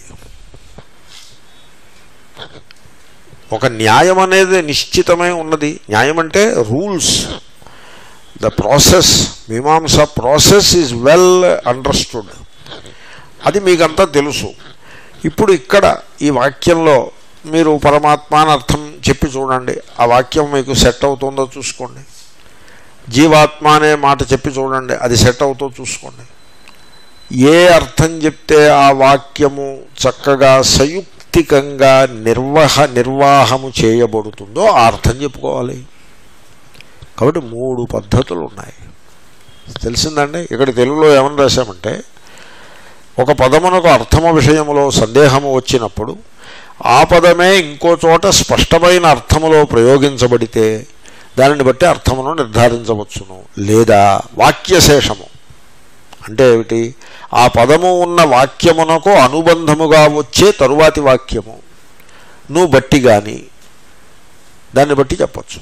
లేదా నిశ్చితమైన మీమాంసా న్యాయము అంటే ఏమిటి? వాక్యార్థమును తేల్చి చెప్పే సాధారణ నియమము. దానిని బట్టి కానీ నిర్ధారించవచ్చును. అని మూడు రకాలుగా నిర్ధారిస్తారు. ఇప్పుడు ఇక్కడ విజ్ఞానమయ పురుష అన్న చోట దీన్ని జీవుడనా పరమాత్మన మనం నిర్ధారించాల్సి ఉంటుంది. పరమాత్మన అర్థం చెప్పేశారు. కానీ జీవుడని చెప్తున్నటువంటి భర్తృప్రపంచాచార్యుల యొక్క అభిప్రాయాన్ని ఖండించబోతున్నారు. సధీహి ఇది చ. ఉత్తరత్ర పాఠాత్ హృద్యంత ఇది వచనాత్. యుక్తం విజ్ఞానప్రాయత్వమేవా. ఇక్కడ విజ్ఞానమయ అన్నప్పుడు మయట్టికి రెండు అర్థాలు ఉన్నాయి ఒకటి ప్రాచుర్యార్థం అంటే నిండి ఉన్నది అని ఒక అర్థం. రెండవది వికారము అని అర్థం. ఈ ఈ సెక్షన్లో ముందు ముందు ఒక మంత్రం రాబోతోంది. సధీహి అని మొదలవుతుంది. సధీ స్వప్నో అని మొదలవుతుంది అది. ఆ మంత్రంలో ఆ మంత్రంలో ఉన్న దా దీ ఈ ఆత్మే ఆ మంత్రంలో చెప్పబోతున్నారు.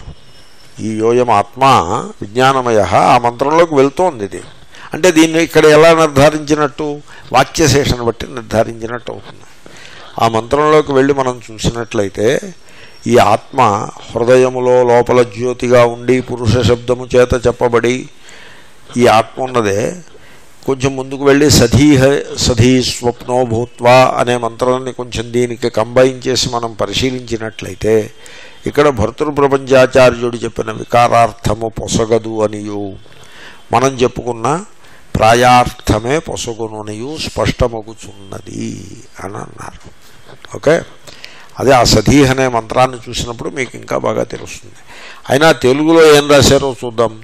ముందు ముందు అంటే రాబోతోంది సధీహి బుద్ధితో కూడి ఉన్నవాడు ధీ అంటే బుద్ధి సా అంటే కూడి ఉన్న అని ప్రయోగము రాబోతోంది. దానిని బట్టి విజ్ఞాన శబ్దమునకు బుద్ధి అని అర్థమును చెప్పాలి. అది ఒకటి సెటిల్ అయింది. ఇప్పుడు ఈ విజ్ఞానమయ ఆత్మ గురించే చెప్తూ సధీహి అని చెప్పారు. ఈ విజ్ఞా ఆత్మ సధీహ అన్నారు. బుద్ధితో కూడినది. ఇక్కడ ఏం చెప్పారు? ఆత్మ గురించి విజ్ఞానమయ అన్నారు. మరి అదే ఒకే ఆత్మ గురించి చెప్తున్నప్పుడు ఇక్కడ ఏది విజ్ఞాన శబ్దం చేత చెప్పబడిందో అక్కడ అది ధీ శబ్దం చేత చెప్పబడినది. విజ్ఞాన శబ్దానికి ఇదా అదా అదా ఇదా అని మీరు రకరకాల డౌట్లు రావచ్చు. ధీ శబ్దానికి ఆ డౌట్లు ఏం లేవు. ధీ అంటే బుద్ధి. కాబట్టి విజ్ఞానమయ అనే పదంలో విజ్ఞాన శబ్దానికి అర్థము బుద్ధి. అది ఒకటి సెటిల్ అయిపోయింది కదా. ఇంకా మయాకి ఏమిటి అర్థము? ప్రాయార్థమా వికారార్థమా? హృదయము లోపల అనే వచనమును బట్టి కూడా విజ్ఞానమయ అనగా బుద్ధి రూపముకు విజ్ఞానమే రూపముగా గల అనే ఆత్మ అనే అర్థమే యుక్తము. హృదయము లోపల అని కూడా ఉన్నది హృద్యంత అని ఉంది. హృదయము లోపల అని చెప్పడం చేత కూడా హృదయం అంటే బుద్ధి. హృదయం ఇక్కడ బుద్ధిని ఇక్కడ స్వీకరిస్తాం. దానిని బట్టి కూడా విజ్ఞాన శబ్దానికి బుద్ధియే అర్థము. కాబట్టి బుద్ధి అని మీరు ఎప్పుడైతే అర్థం చెప్పేశారో బుద్ధి ఎందు నిండి ఉంటుందనే అర్థమే వస్తుంది తప్ప వికారం అనే అర్థము రాదు. ఎందుకంటే క్షేత్రము క్షేత్రజ్ఞుడును వేర్వేరు తత్వములు.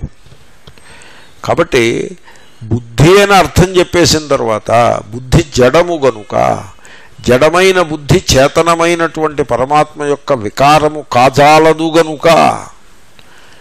కాబట్టి బుద్ధి యందు నిండి ఉన్న వెలుగు అనే చెప్పాలి మీరు.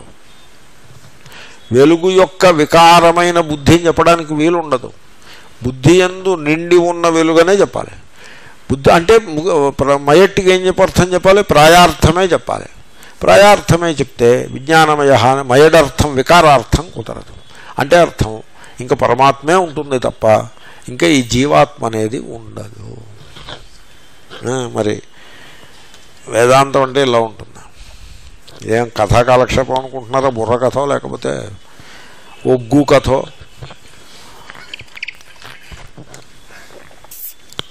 అవి కళలు కళలు పెర్ఫార్మింగ్ ఆర్ట్స్ వాటిని పెర్ఫార్మ్ చేస్తారు. చూసి వాళ్ళు చూస్తారు. ఎవరు చూస్తారు? ఏ పని లేకుని వాళ్ళే చూడాల్సి ఉంటుంది.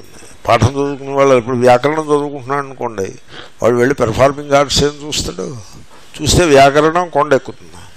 కాబట్టి అలాగే వేదాంతాన్ని అధ్యయనం చేసే వాళ్ళకి ఈ కళలు ఇవి కూడా అంత పెద్ద ఇంపార్టెంట్ కాదు. మనం వాటిని తిరస్కరిస్తామనే అభిప్రాయం కాదు. ఇప్పుడు పిల్లలు గోళీకాయలు ఆడుకుంటూ ఉంటారు.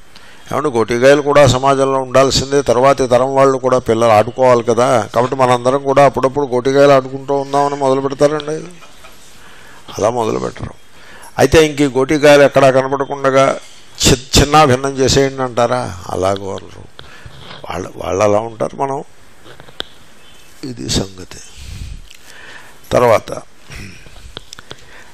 ఈ చర్చ ఇంకా చాలా చిత్రమైన చర్చ ఇది. ఇంకా చాలా చెప్తారు ఆయన అప్పుడే అయిపోలేదు. ప్రాణేషు ఇది వ్యతిరేక ప్రదర్శనార్థ సప్తమి. ఇప్పుడు ప్రాణేషు హృద్యంతర్జ్యోతి అని ఉంది ప్రాణములయందు. ప్రాణములయందు చూడండి సప్తమీ విభక్తికి బహువచన సప్తమీ బహువచనానికి వ్యతిరేకమును వ్యతిరిక్తమును విలక్షణమైన దానిని చూపించే అర్థం ఉందని మీరు ఎప్పుడైనా ఊహించగలరా? భాష్యకారులు ఎలా చెప్తారో చూడండి. ఏమండి మీకు నేను చెప్తున్నా చూడండి. కాకులలో కాకులయందు హంస అన్నారనుకోండి. కాకులయందు హంస. అక్కడ కాకులయందు సప్తమి బహువచనం. దానికి అర్థం ఏంటి? కాకులయందు అంటే కాకులు కంటే సుతరాము విలక్షణమైన హంస అని కాదు. నేను చక్కటి దృష్టాంతం చెప్పా. శంకరులో దృష్టాంతం చెప్తున్నారు. ఏమిటి? వృక్షేషు పాషాణ. చెట్ల యందు బండరాయి. చెట్ల యందు బండరాయి అంటే చెట్ల యందు చెట్ల కంటే విలక్షణమైన బండరాయి అనే అభిప్రాయం లేదు. లేకపోతే మాటల మామూలుగా అయితే ఏమంటారు? బండరాయి అంటారు. బండరాయి అనకుండా చెట్ల మధ్యలో బండరాయి ఉందిరా అన్నారనుకోండి. దాని అభిప్రాయం ఏమిటి? చెట్ల మధ్యలో ఇంకో చెట్టు ఉంటే చెప్పి ప్రత్యేకంగా పనిగట్టుకు చెప్పేది ఏమీ లేదు. చెట్ల మధ్యలో చెట్టు ఉండడం కాదు. చెట్ల మధ్యలో చెట్టు ఉంటే ఉందనుకోండి చెట్ల మధ్యలో చెట్టు గలదు అని చెప్తారా? చెప్పరు. ఆల్రెడీ చెట్ల మధ్యే.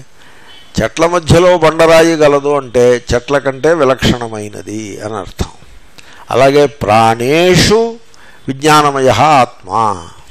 ప్రాణముల ప్రాణం అంటే ఇంద్రియము.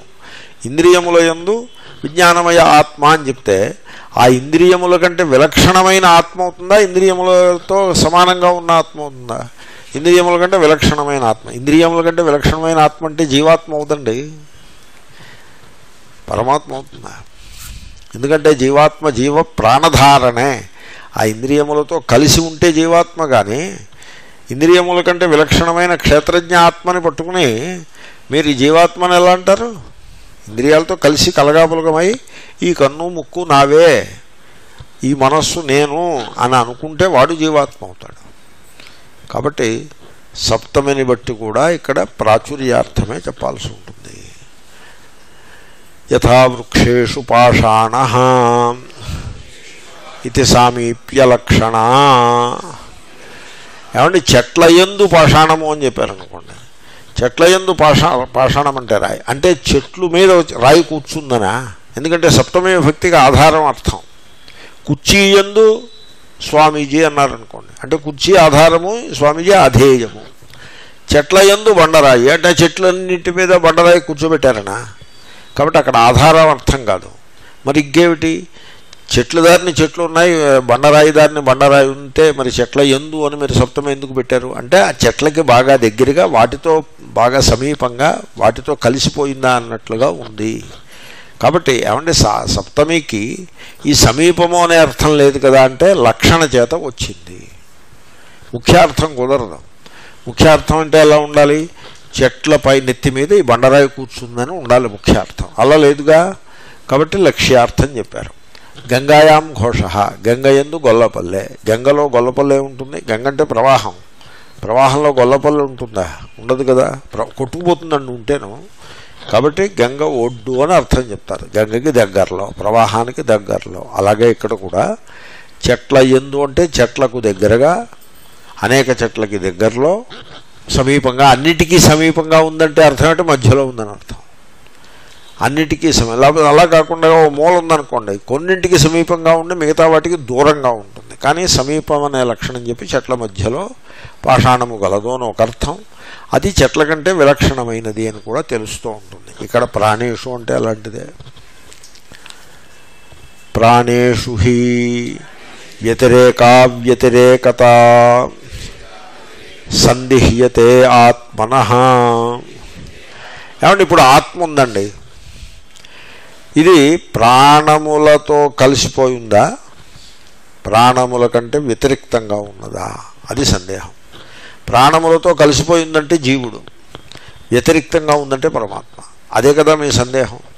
ప్రాణేషు అని సప్ సప్తమి చూసేప్పటికీ మీ సందేహం పటాపంచలు అయిపోతుంది ప్రాణములతో కలిసి లేదు అనే మనకి తెలుస్తూ ఉంటుంది. ప్రాణేషు సప్తమే కదా. వృక్షేషు పాషాణ. ప్రాణేషు ప్రాణేభ్యో వ్యతిరిక్త. ఇత్యర్థ. కాబట్టి ఆత్మ ప్రాణం అంటే ఇంద్రియము.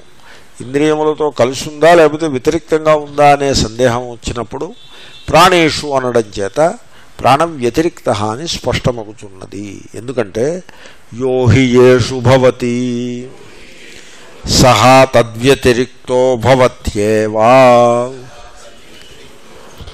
యథా పాషాణేషు వృక్ష. లంకలో సీత. అంటే ఆ లంకలో ఉన్న వాళ్ళందరికంటే కూడా ఆమె వ్యతిరిక్తురాలు. లంకలో సీత. చెట్ల మధ్యన బండరాయి. కాకుల్లో హంస. ప్రాణాలలో ఇంద్రియాలలో ఆత్మ. ఆత్మ ఏ ఆత్మ అవుతుంది? పరమాత్మ అవుతుంది. వ్యతిరిక్తమైన ఆత్మ అవుతుంది. వాటితో కలిసి ఉన్న ఆత్మ జీవాత్మ కాదు. ఏమన్నా మరి పరమాత్మను మీరు నిలబెట్టేస్తే జీవాత్మ హూష్కాకి అయిపోతుంది కదంటే లేదు జీవాత్మ పరమాత్మయే గలదు. మరి భక్తి అసలైన భక్తి అదే. నేను వేరే జీవాత్మంటూ ఒకడిని లేను. దాన్ని అసలైన భక్తి అంటారు. నేను ఉన్నాను నువ్వు ఉన్నావు. నేను వైకుంఠానికి వస్తాను ఆ గేటు దగ్గర నాకు అడ్డు లేకుండా ముందే రికమెండేషన్ చేసి పెట్టు నువ్వు. నేను తీరా వచ్చిన తర్వాత నన్ను బయట నిలబెట్టడానికి వీలు లేదు సుమా. హే విష్ణు ఇంత పూజలు చేసిన తర్వాత మళ్ళీ నన్ను బయట నిలబెట్టద్దు. లోపలికి వచ్చేసిన తర్వాత నాకు చిన్న గదిలో పాడేయడానికి వీలు లేదు ఈ నిత్య సూర్యులు అని చెప్పేసి వీళ్ళు ఈ గరుత్మంతుడు జయుడు విజయుడు వీళ్ళు ఏమైనా కొంత మతలబు వ్యవహారం చేస్తారేమో నేను నీ గొప్ప భక్తుణ్ణి. కాబట్టి వాళ్ళకు కూడా ఓ మాట చెప్పి పెట్టు ఫలానా భక్తుడు. దాసానుదాసుడు రావాడు గొప్ప భక్తుడు వాటికి మీరు స్పెషల్ ట్రీట్మెంట్ ఇవ్వని చెప్పి పెట్టవయా అప్పుడప్పుడు లక్ష్మీదేవితో కలిసి నాకు అనుగ్రహం చేస్తూ ఉండు. మరి ఎలాగా వైకుంఠంలో పడేసాం కాబట్టి ఇంక వాడిని నా అలా వదిలిపోయకుండా నేను నీ భక్తుడిని సుమా అంటే ఇప్పుడు ఇంతకీ వీడు భక్తుడు అంటారా? లేకపోతే ఏమిటంటారు వీడు? వీడిని భక్తుడు అనాలా? లేకపోతే ఏమనాలి వీడిని? వీడిని ఏమనాలంటే మతలబ్వాలా అనాల్సి ఉంటుంది. భక్తులు అంటే ఏమిటో తెలుసిన? నీకంటే భిన్నంగా నేను ఉంటేగా నేను లేనే లేను నువ్వే ఉన్నావు. తూహి తూ తూహి తూ నువ్వే ఉన్నావయ్యా నేను లేనే లేను మై నహి హూ తూహీ తూ అది భక్తి. అహమేవ అస్మి అహం బ్రహ్మాస్మి. అది జ్ఞానం.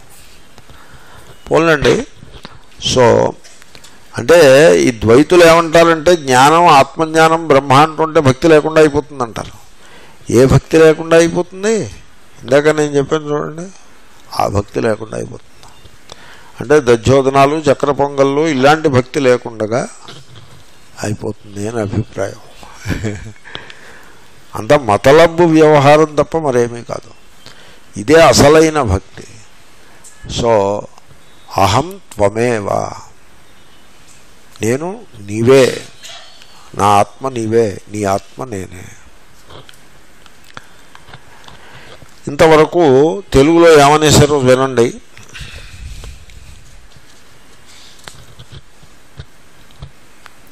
ప్రాణేషు అని సప్తమే విభక్తి ప్రయోగించబడినది. ఉదాహరణకు చెట్లయందు రాయి అన్నప్పుడు సప్తమే విభక్తి సమీపమునందు అనే అర్థమును సూచించును. ముఖ్యార్థం కాదు సూచించే లక్షణ అంటే సూచించడం. అంటే అలాగా చెట్లకు దగ్గరలో రాయి. ఎందుకంటే ప్రాణముల విషయంలో మాత్రమే ఆత్మ వీటికంటే విలక్షణమా కాదా అనే సందేహము కలుగును. ప్రాణేషు ఇంద్రియముల యందు అంటే దేహం విషయంలో ఆత్మ దేహము కంటే విలక్షణమా కాదా అనే సందేహం వైదికులకు కలగదు. వైదికులకు ఆ సమస్య ఉండదు. అది లోకాయతులు చార్వాకులను. ఇక్కడ వీళ్ళు భర్తృ ప్రపంచాచార్యులు వీళ్ళందరూ వైదికులు కదా. కాబట్టి వీళ్ళకి ఈ ఇంద్రియములు సూక్ష్మ సూక్ష్మ శరీరము దానితో కూడి ఉన్న చైతన్యం జీవాత్మ వేరే ఉంది అని వాళ్ళ గోలది కాబట్టి ప్రాణేషు అన్న చోటనే సందేహానికి తావుగలదు జీవాత్మయ పరమాత్మయ? జీవాత్మ అయితే వికారం అని చెప్పాల్సి ఉంటుంది పరమాత్మ అయితే ప్రాచుర్యం అని చెప్పాల్సి ఉంటుంది. ప్రాణేషు ఇంద్రియముల యందు అనగా ఇంద్రియముల కంటే విలక్షణమైనది అని అర్థము. ఎలయన ఏది వేటి ఎందుండునో అది వాటికంటే విలక్షణముగానే ఉండును. ఉదాహరణకు చెట్ల ఎందుండే రాయి వాటికంటే భిన్నముగా ఉండును. ఓకే. ఇంకా హృది తత్ర ఏ తత్స్యాత్ హృది అంతర్జ్యోతి హృదయమునందు. హృదయమునందు ఉంటుంది బ్రహ్మ ఏతద్ బ్రహ్మ హృదయమునందు ఉంటుంది. హృదయమునందు ఉండును. ఏది ఉండును? ఇది ఇది ఉండును. ఇదంటే ఏమిటండి? చెప్పబడబోయేది. చెప్పబడబోయేది హృదయమునందు ఉండును. ఇప్పుడు గది లోపల ఏమిటండి గది లోపల? ఆగవయా నేను చెప్తున్నా కదా వినో. అది ఉంటుంది గది లోపల అన్నట్టు. ఏతత్ అని నపుంసకలింగం ఎందుకు పెడుతున్నారు? అంతర్జ్యోతి అని జ్యోతి శబ్దం నపుంసకలింగం. అందుకోసం ఏతత్ అన్నారు లేకపోతే ఏషహ అనేవారు. ఆయనకు వ్యాకరణం చాలా పట్టు. అంటే ఫోకస్ ఉంటుంది. కనుక హృదయమునందు ఇది ఇది ఉండును. ఇదంటే ఏమిటండి?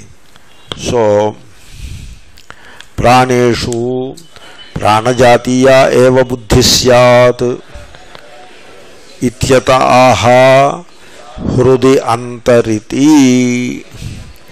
ఇప్పుడు ఇంద్రియముల యందు ఇది ఉంటుంది. అంటే ఏమిటి ఇంద్రియములతో సమానమైన జాతికి చెందిన బుద్ధియే ఉంటుంది. ఏమండి? పైన చెప్పిన ఆత్మ అయితే ఇంద్రియముల కంటే విలక్షణమైనది. అది బహువచనం ఇక్కడ ఏకవచనము. హృది హృదయమునయందు ఉండును. అంటే ఏది ఉంటుంది? ఆ ప్రాణములు హృదయమునందు ఉంటాయి. చూద్దాము. సో ఒకే జాతికి చెంది ఉంటాయి. హృదయము ప్రాణములు. అంటే బుద్ధి ఇంద్రియములు ఒకే జాతికి చెంది ఉంటాయి. చూడండి. ఇంద్రియముల జాతికి చెందిన బుద్ధి కూడా ఇంద్రియములలోనిదే కనుక హృదయము లోపల అని శృతి చెప్తోంది. హృదయము లోపల దీన్ని వృక్షేషు పాషాణ దృష్టాంతంతో కన్ఫ్యూజ్ చేయొద్దు. అది అయింది మళ్ళీ వేరే వచ్చాము. ప్రాణేషు అయిపోయింది. బహువచనం ఉండాలి. ఇది విలక్షణత్వం చెప్పాలంటే బహువచనం ఉండాలి. కాకియందు హంస అంటారా? కాకుల యందు హంస. చెట్టు యందు రాయి అంటారా? చెట్ల యందు రాయి. కాబట్టి అది అయిపోయింది. ఇంకా ఇంకా అన్నిటికీ పిడుక్కి బియ్యానికి ఒకే మంత్రం కాదు. అది అయిపోయింది. ఇప్పుడు హృదయమునందు అన్నారు. సో హృదయమునందు అంటే బుద్ధి అని అర్థం. బుద్ధి ఎందు. ఇప్పుడు కన్ను చెవి ముక్కు వీటి ద్వారానే బుద్ధి పనిచేస్తూ ఉంటుంది. ఇప్పుడు కన్ను చెవి ముక్కు ఇవన్నీ కూడా క్షేత్రమా క్షేత్రజ్ఞతత్వమా? క్షేత్రము. బుద్ధి క్షేత్రమా క్షేత్రజ్ఞతత్వమా? క్షేత్రము. అంటే బుద్ధి ఇంద్రియములు ఒకే జాతికి చెందినవి. అందుకోసమే సో విజ్ఞానమయ అన్నప్పుడు హృది అని సప్తమిని చెప్పినారు హృదయమునందు అని. చూద్దాం చూద్దాం. ప్రస్తుతానికి ఇలా ఇలా తీసుకోండి కారణ శరీరం పోవడం అంటే మీరు పరమాత్మ కంటే జీవాత్మని వేరేగా పెడితే కారణ శరీరం ఉంది. పరమాత్మలో జీవాత్మని కలిపేస్తే కారణ శరీరం లేదు. కారణ శరీరం అంటే అజ్ఞానం. చూద్దాం. సో ప్రస్తుతానికి ఇంతవరకు నిర్వహించండి. దీంట్లోకి మీరు మళ్ళీ ఇంకొకటి ఇంకొకటి ఇంకొకటి తీసుకొచ్చి పెట్టారనుకోండి దీని నిర్వహణ కష్టమైపోతుంది. ప్రస్తుతానికి ఇంతవరకు నిర్వహించండి. మళ్ళీ మళ్ళీ నెక్స్ట్ క్లాస్లో దీని సంగతి సెటిల్ చేద్దాం. ఓం పూర్ణమద పూర్ణమిదం పూర్ణాత్ పూర్ణముద్యతే పూర్ణస్ పూర్ణమాదాయ పూర్ణమేవాశిష్యతే ఓం శాంతి శాంతి శాంతి.